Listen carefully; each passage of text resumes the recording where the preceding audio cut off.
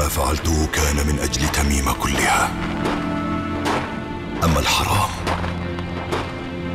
فهو الجوع الذي ينهش أجساد الفقراء والضعفاء وهو من أنطق هذا السيف.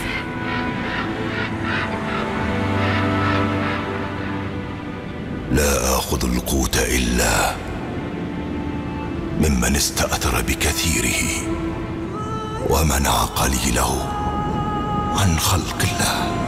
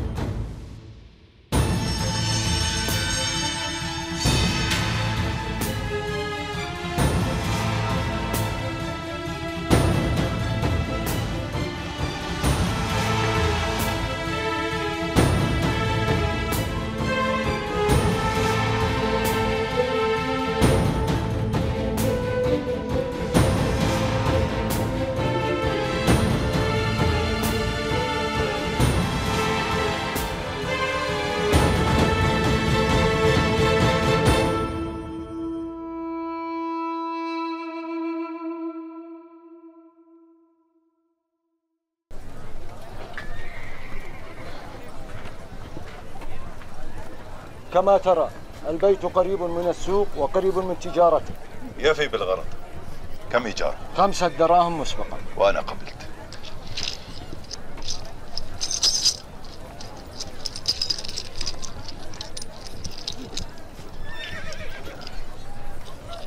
عشرة. أظن أن قامتك طويلة. بضعة أيام لا أكثر. سمعت هذا القول كثيرا. هل في هذه المدينة شجر الغضاء؟ هل أرى من هذه الدار نجم سهيل؟ هل أستطيع أن أطلق بصري إلى الأفق فلا يرده حاجز أو ساتر؟ لا أظن ذلك إذا خيبت فراستك وفقك الله هذا مفتاح الدار السلام عليكم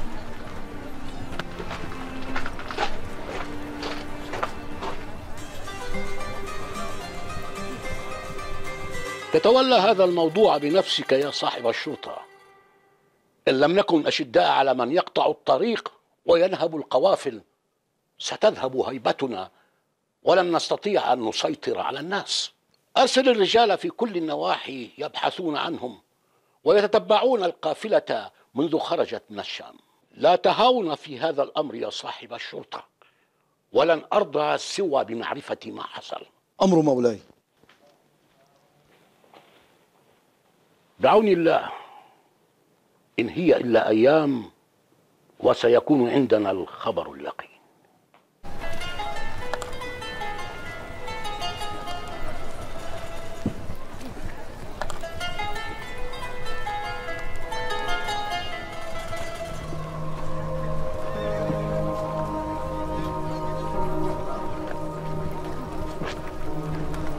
هذه لك.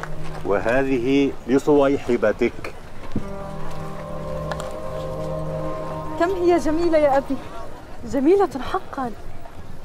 إنها أجمل ما نملك. آه بقي لك شيء في السوق؟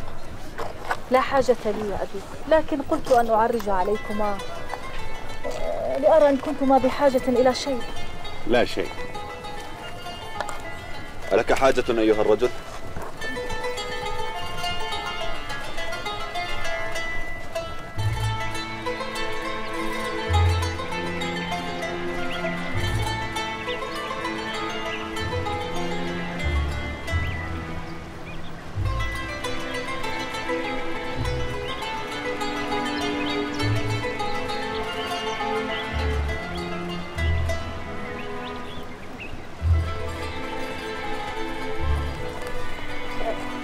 سنذهب يا أبي. صاحبتكم السلامة.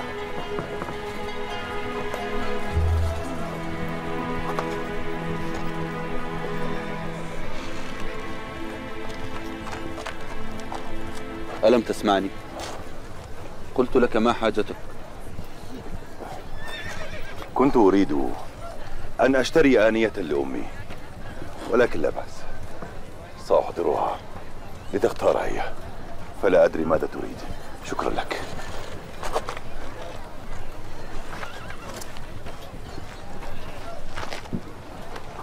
وقد تعرضت لغة العرب للنحت والتغيير بتغير الأزمان والعصور كما تنحت الريح الصخرة الصماء فسقط عن ألسنتهم العديد من المعاني والصفات.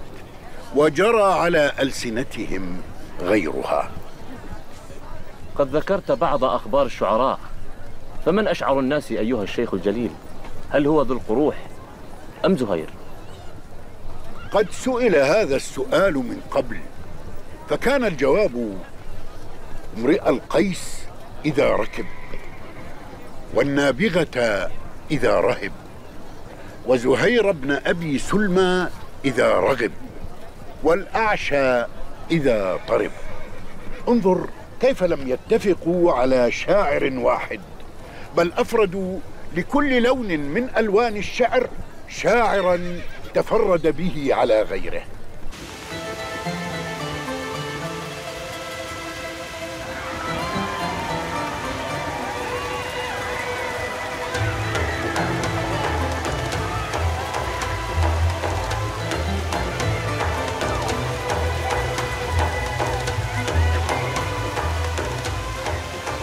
لنا لا علينا واجعلها سقيا رحمة لا سقيا عذاب. هذا صيب من السماء. اهتزي يا ذات الصدع. أمسكي ماءك أنبتي زرعك. ينتفع به خلق ربك. الحمد لله الحمد لله. تبارك الله. تبارك الله تبارك الله. هل كنتما تستمتعان بالتلصص ورائي؟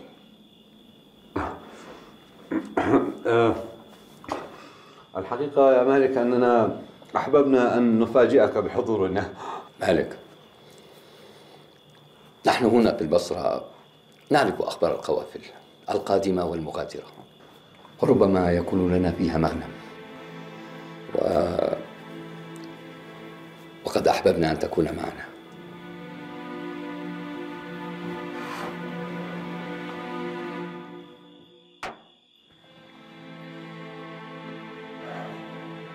لي طلب عندكم. إن نفذتموه. لربما ساعدتكم. آه، ننفذ ننفذ. ما هو؟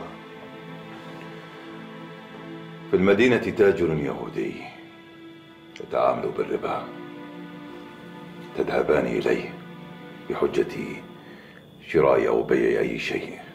على أن تأتيان بأخباره. هذه بسيطة. من هو؟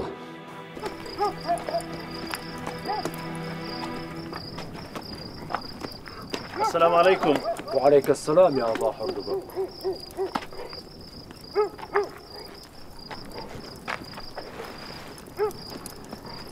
كنت في طريقي إلى البصرة ووجدت هذا. لعلها سقطت من قافلة مرت من هنا وليس لي بها حاجة. خذاها وتقاسمها. بارك الله فيك يا أبا حردقة فلتجلس قليلا؟ علي أن أكون في البصرة باكرا فلدي ما يشغلني. السلام عليكم. وعليك السلام.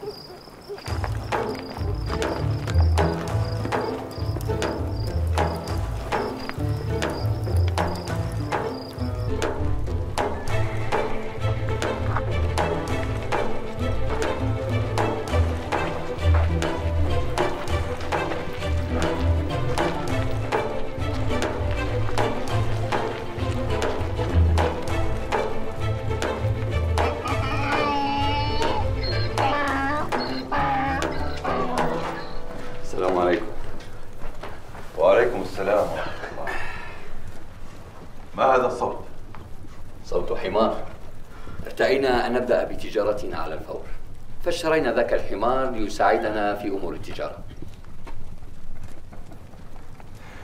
أرسلتكما لتأتيا بالأخبار فأتيتما بالحمار. كيف ذلك؟ اشتريناه من التاجر صديقك. رجل مسكين اضطر لبيع حماره لكي يأكل بثمنه. ألم تقول لي بأنه يعمل عند التاجر؟ بلى ولكن صاحبك لا يتعامل بالربا فقط. بل إنه يبخس الناس أجورهم ويأكل حقوقهم أيضا. ليس هذا هو المهم. صاحبك سينطلق في قافلة للشام.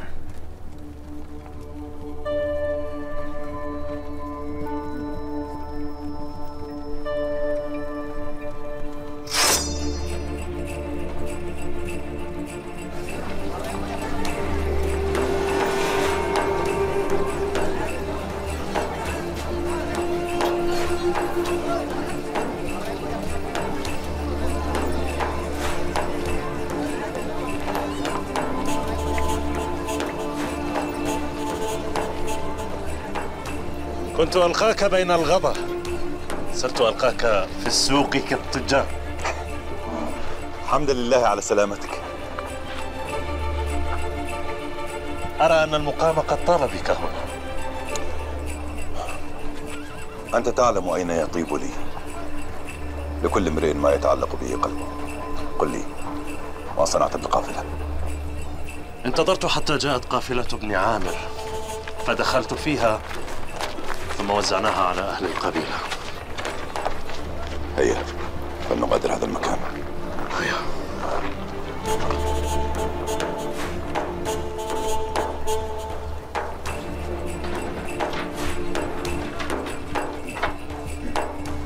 تفضل ما حاجتك؟ أريد خاتما للزينة اختر ما تشاء من هذه الخواتم. رأيت الكثير منها عند غيرك. لم يعجبني شيء. انتظر. عندي ما ليس عند أصحابي. خاتم صنع على أيدي مهرة. من صناع بلاد فارس. حجره فريد ليس له مثيل.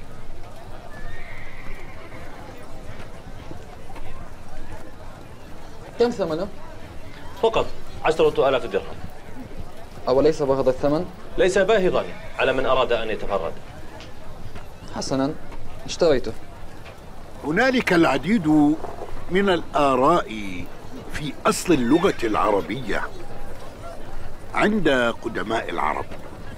منها أن اللسان العربي سابق على العرب أنفسهم. فزعموا أنها لغة آدم عليه السلام.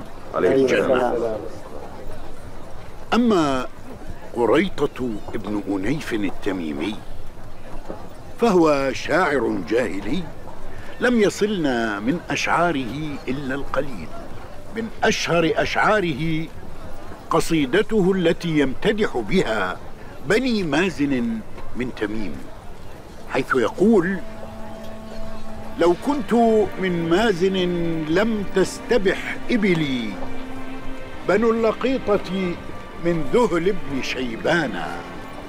إذا لقام بنصري معشر خشن عند الحفيظة إن ذو لوثة لانا. قوم إذا الشر أبدى ناجذيه لهم قاموا له زرافات ووحدانا.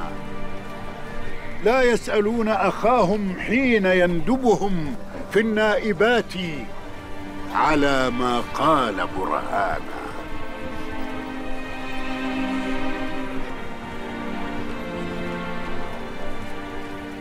هذا من أشهر أشعاره التي وصلتنا.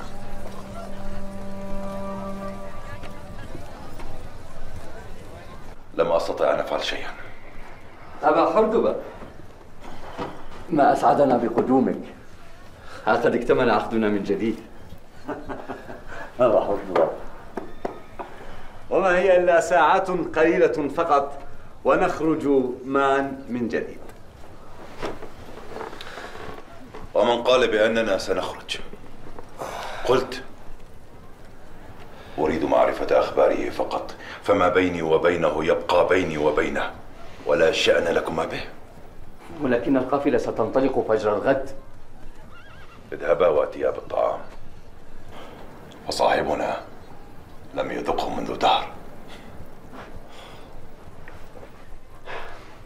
أي.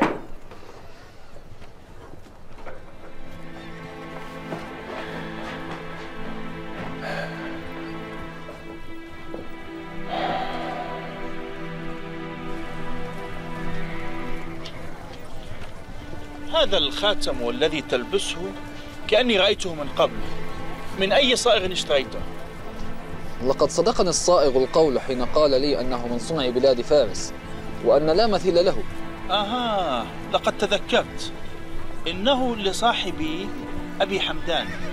كان يتباهى به. وإن والي البصرة مهتم بالأمر أيما اهتمام. الحمد لله. أخشى أن نعتاد على الطعام الكثير. فتخمل أجسادنا وتثقل أقدامنا عن العدو.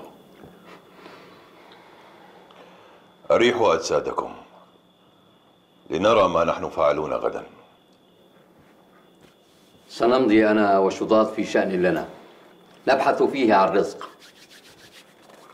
أي رزق هذا الذي تبحثون عنه في الليل؟ هذا شأننا. نراكم صباحا.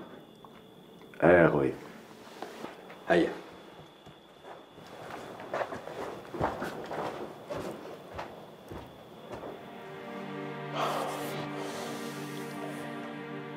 قبل مجيئي عرجت على بيتك ماذا؟ وكيف أحوالهم؟ بخير إلا أن أمك وجدت عليك وتسألك أن تتعجل بالعودة.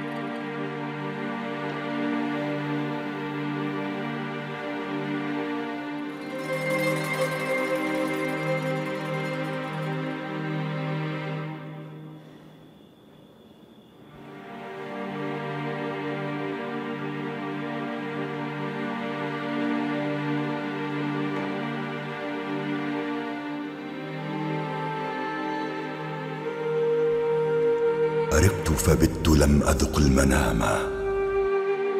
وليلي لا أحس له انصراما. لعمرك والمنايا غالبات.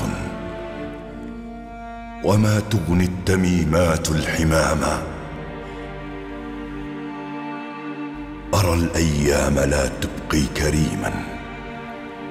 ولا العصم الأوابد. والنعام.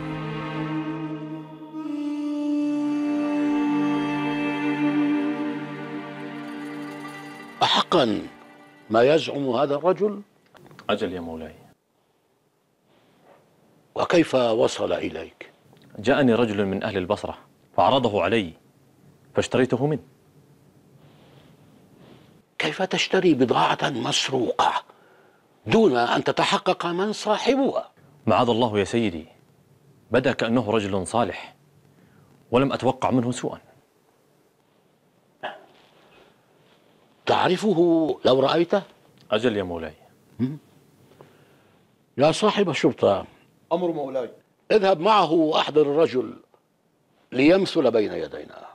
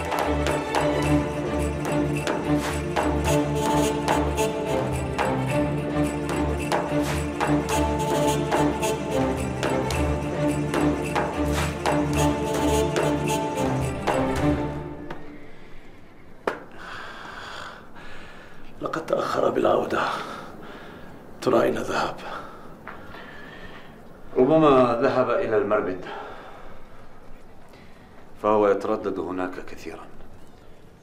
لن يبتعد عنا. أطمئن.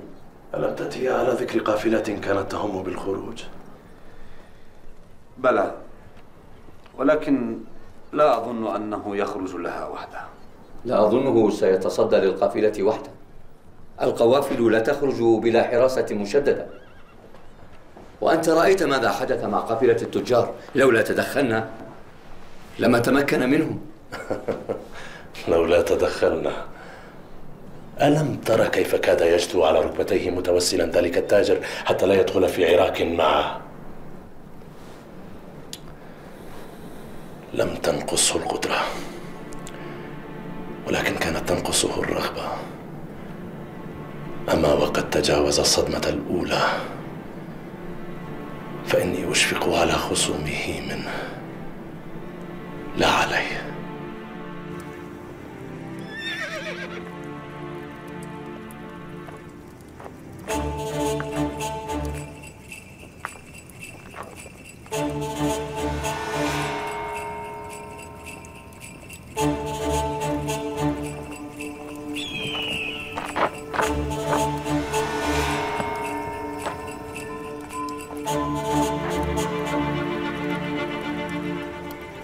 أنت سيد القافلة من أنت؟ وما حاجتك؟ أنا من أبناء هذه الصحراء وكلني ضعفاؤها ليأخذ حقوقا منعت عنهم. فكن خير آخذ. اسمع يا هذا. إنما أريد أن أقتطع حاجة الفقراء فقط. فإن كنت ذا لب خلي بيني وبين تلك الحاجة. ومن الذي وكلك عنهم يا ابن الورد.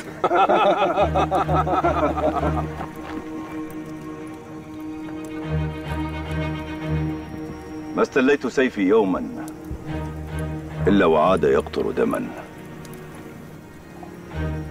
فاحرص على أن يكون حبيس غمده. اسمع أنت أيها الغر. ارجع لأمك ولا تحملني وزر نياحها عليك. ما أجهل من رجل كر على قوم إلا قوم كروا على رجل. تعجبني جرأتك ولكن هذا لن يمنعني من أن أقتلك. أجلس عليه.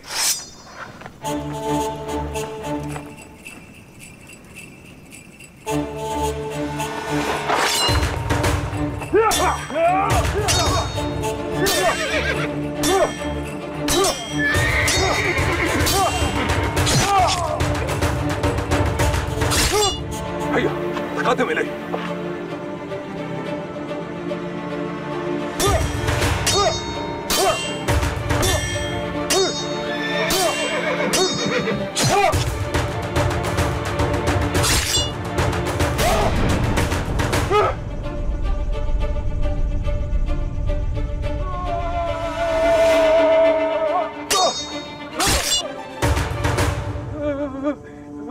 وترت لك اليد التي تعمل بالربا. لعلك توفي الناس حقوقها وتكف عن أكل الربا. أما أنا فلن آخذ سوى حق الفقراء.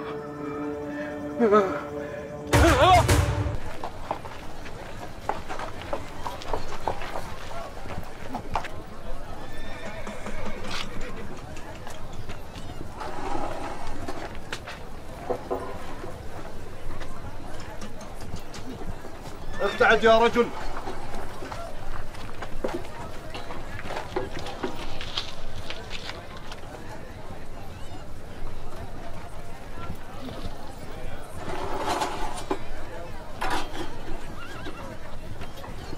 سيفك أصبح جاهزا يا رجل.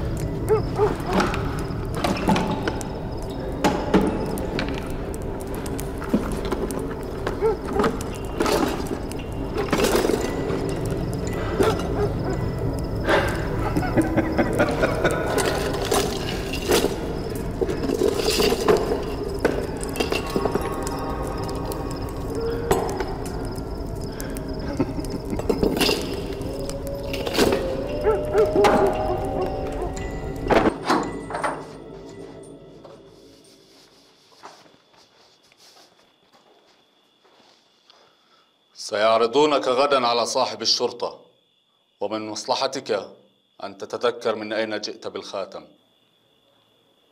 لو قطعت إربا إربا ما زدت كلمة على ما ذكرت.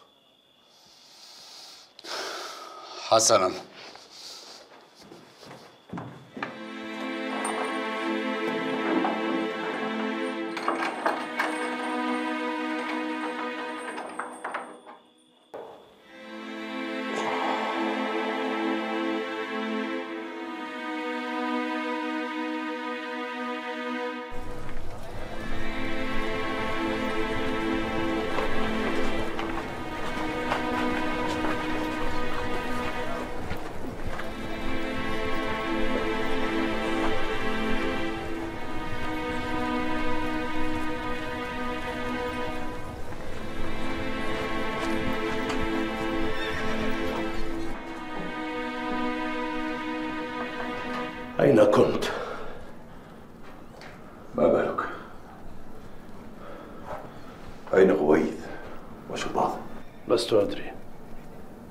وليس مهما.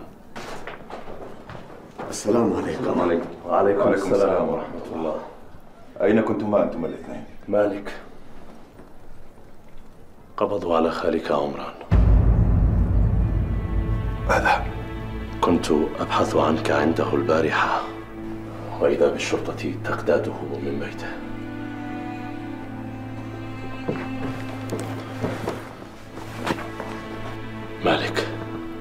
هل يعرف خالك عمران عنا شيئا؟ عما حدث مع التجار قرب المضارب مالك هل يعرف خالك عمران عنا شيئا؟ لا لم أخبره شيئا. الحمد لله الخاتم. أي خاتم؟ الخاتم الذي أعطيته إياه هو من باعه للتاجر في السوق. علينا أن نغادر البصرة فورا نتركها. نتركها وقد كدنا أن نغلق باب الفقر فيها. بويث على حق. نحن لم نختر هذا الطريق لكسب عيش أو تحقيق غنى. إنما قادتنا الأقدار إليه. لن أخرج من البصرة إلا ومعي خالي. وإن كان في هذا هلاكي. هو هكذا إذا هلاكك. مالك؟ خالك في السجن. لن أخرج من البصرة دون خالي. ولا أرغمكم على مساعدتي. ولا أجبركم على شيء مما غنمتموه. وإن اختلفت أسبابنا كما هي طرقنا.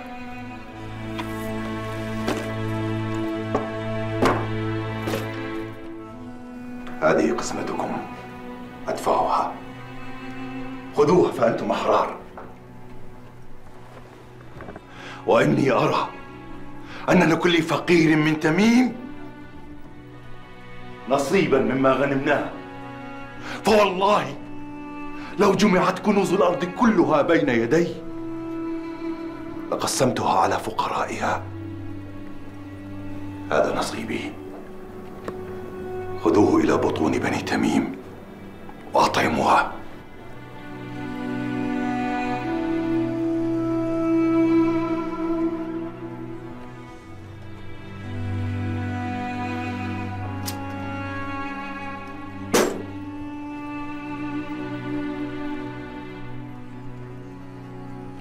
والله لم تختلف طرقنا يوما ولن تختلف إن شاء الله. وما حاجة سيد من تميم إلى مثل هذا العيش إن لم يكن آلمه ما آلمنا من جوع وعوز وقهر. فراح يضم بعض ما منعناه عنوة بضم ما حزناه إلى بعضه. مالك لا تعن الشيطان علينا.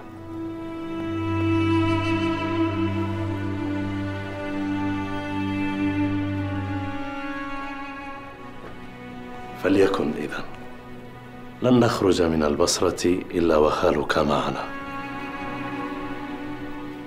قضي الأمر.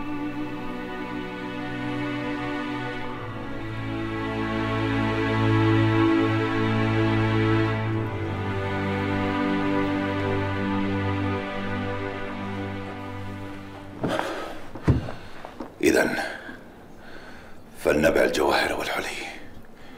أبا حردبة تشتري الإبل من فورك وتخرج بها إلى تميم الليلة. الليلة. لا والله لا أترككم وأهرب. لست هاربا. بل تأخذ المهمة الأخطر والأهم. لا جدوى من كل ما نفعله إن لم يصل الطعام إلى تميم. هيا. هيا.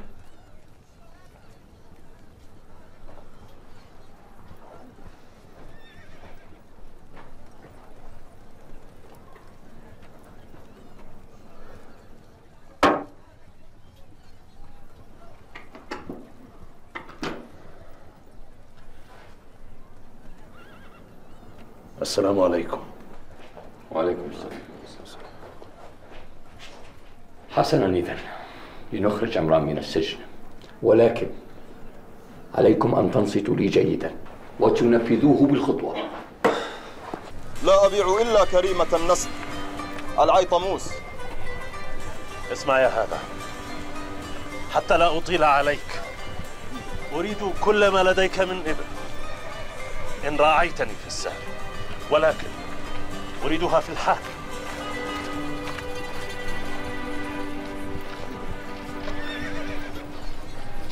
ماذا قلت؟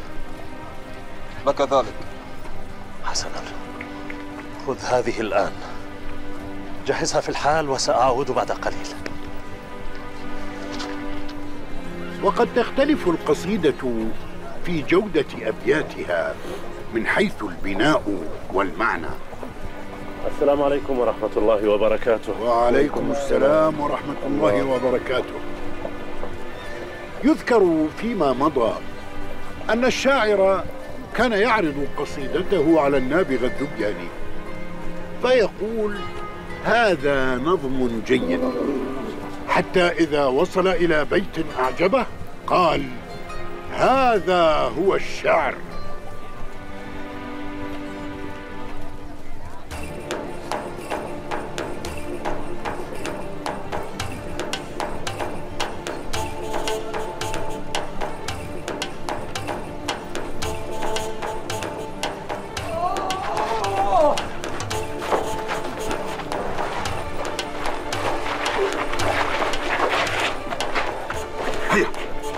ثيابكم وإلا انتزعت رؤوسكم.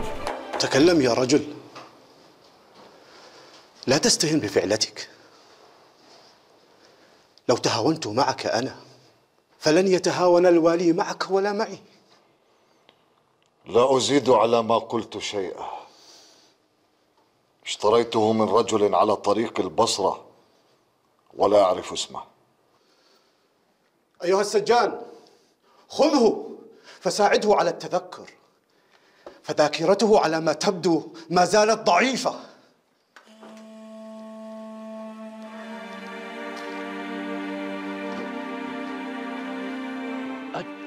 السلام عليكم مولاي. وعليكم السلام ورحمة الله وبركاته. لم نعثر على أي أثر للتجار يا مولاي.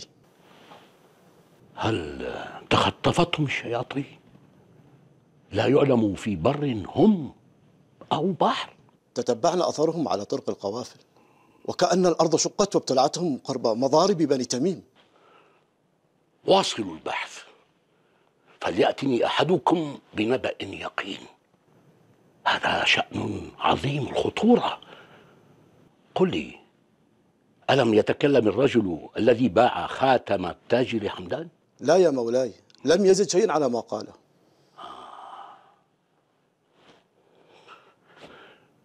أحضره لي في الحال. أمر مولاي.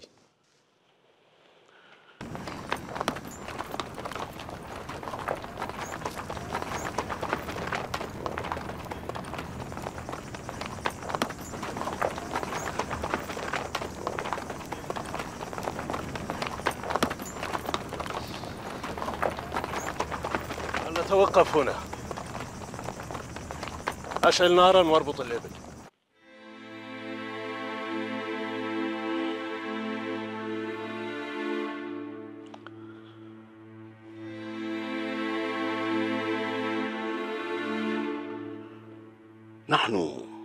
لا نأخذ أحدا بالظن.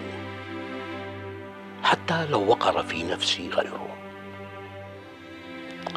اسمع يا هذا. بودي أن أخلي سبيلك. ولكن الدلائل ضدك تمنعني. إما أن يظهر التجار سالمين أو تحكي لنا قصة الخاتم تعيننا على معرفة مصائرهم. قل.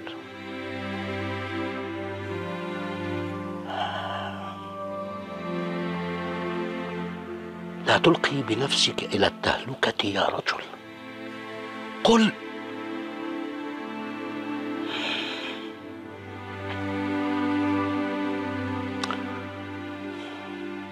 خذه أعيدوه إلى السجن. أمر مولاي